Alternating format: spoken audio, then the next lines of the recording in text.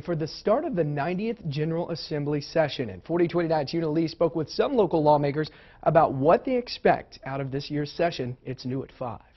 For the first time in 100 years, Republicans will control the governor's mansion and both legislative branches. Some of the main issues will focus on the budget private option education, and prison overcrowding. Republican State Representative Charlie Collins of Fayetteville says the dynamics will really change, and he believes the 90th General Assembly will have a balanced budget. He hopes to lower income taxes even further to make Arkansas more competitive with surrounding states.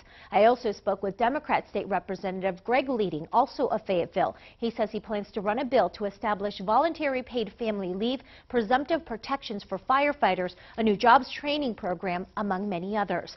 State Senator Bart Hester of Cave Springs tells us that he will be running many bills ranging from making medical school acceptance only merit-based to making K through 12 intersemester classroom sizes a little bit more flexible. Senator Hester says he believes the main issue this year will be tax cuts for the middle class, also Medicaid expansion through the private option, tort reform, and education reform.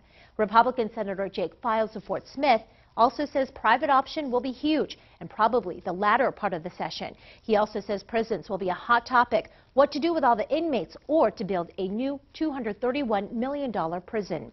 Coming up on the news at 6, we'll show you one of the bills that will likely cause quite the talk. Yuna Lee, 4029 News.